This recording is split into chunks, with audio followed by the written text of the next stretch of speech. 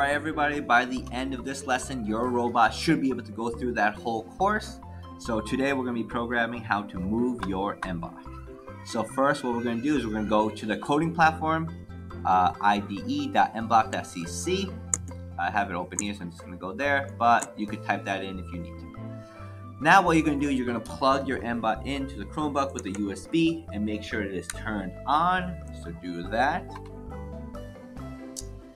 Once it's connected, make sure that it is connected to the software. So I'm to drag this and I'm to hit connect and then you're to connect it to the USB. Okay? Okay.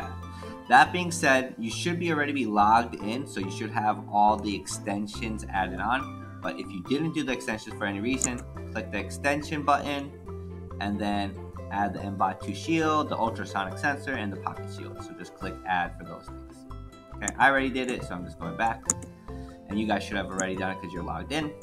But now that you have this MBOT as you as you're dragging down, you should see something called MBOT. Once you click on that, this will help you move your MBOT. So for example, if I click uh, move forward at 50 revolutions per minute, and I'm now in live mode, once I click on this, it should move forward. So I'm gonna click on it. And we can see the wheel spinning and it's trying to move forward. It's gonna keep on doing this because our code doesn't say to stop or anything like that. So I'm just gonna turn this off and turn it back on. So we don't want it to go forever. Well, maybe we do but we if but there's another code block that says move forward 50 RPM for one second. So if I click on this, it'll just do that for one second. I could change 50 RPM, make it faster. So let me do, I'll do 75 for two seconds. And now it should go faster and longer when I click on this. Okay, two seconds. And then there's other things that I can do to move it, uh, move it around. I'm gonna, I could say turn left, or I click this and say turn right, 90 degrees. And then let's say I'm gonna move forward and I'll change this to not inches, about 25 seconds. So now when I click on this, it should move forward for two seconds, turn right, and then move forward again.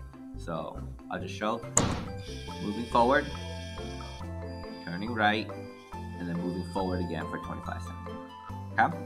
The last thing now is this is in live mode, but we want to be able to do this when it's not connected. So how we're going to do that is we're going to give it a certain time to operate.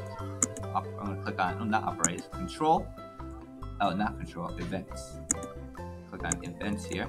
Oops, let me make this a little smaller. So when I click on events, now it says when button A is pressed, whoops, when button A is pressed, it'll do all these things. So if you look on your MBOT, button A is going to be right there. So when I click on that button, it should do all these things. So I'm going to click on that button. And then now it's going forward, turning right, and going forward. Now I'm going to program this robot to do that. So I'm going to go to upload mode. So I'm going to click upload. And I'm going to upload this robot to know this code. So click upload uh, and then it's gonna upload. Now I can disconnect this and it should do what I just programmed it to do. So let's let's see how that's gonna work. Okay, maybe I'll just show it like this.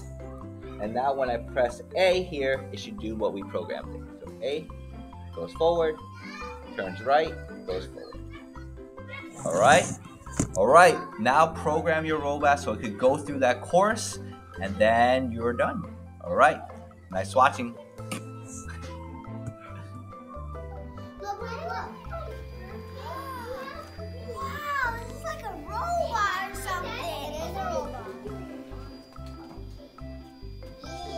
And then